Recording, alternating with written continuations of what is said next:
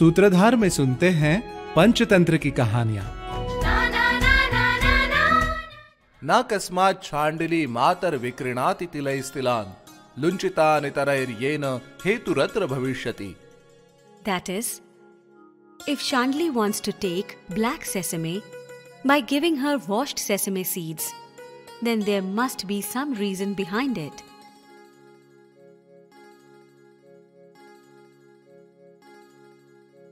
A Brahmin lived in a town. One morning, the Brahmin told his wife, Today is Dakshinayan Sankranti, and any donation done today will have a good result. I am leaving with this hope. You must also feed a Brahmin today. Hearing this, the Brahmani said, Aren't you ashamed to say all this? What is kept in this poor house that I should feed someone? Neither do we have any good clothes to wear, nor do we have any gold or silver. How can we donate anything to anyone?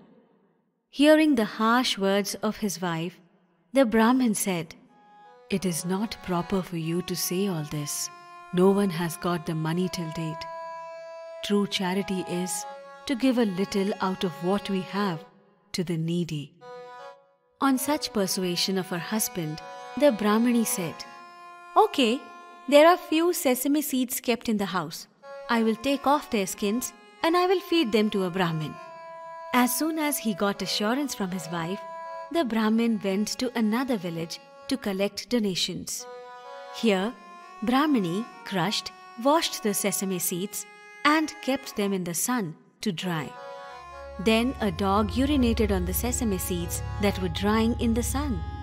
The Brahmani thought, We have nothing else, and the flour is now wet. Now, by giving my washed sesame seeds to someone, I will try to get unwashed sesame seeds.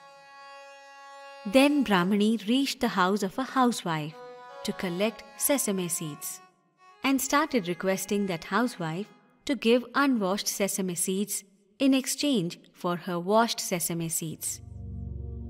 The housewife agreed to give some sesame seeds to the Brahmani. But just then, the housewife's son said, Mother, there seems to be something wrong.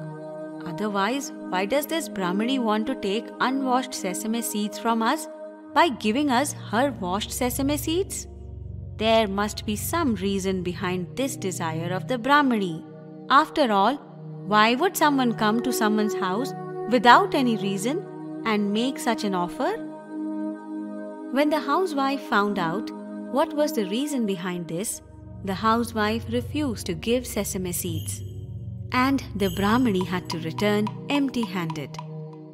We saw how Brahmani agreed to give charity by obeying Brahmin, but by the dog's urination, the seeds get spoiled. She fraudulently plans to get unspoiled sesame seeds for her spoiled ones. The housewife agrees to the offer without knowing the truth.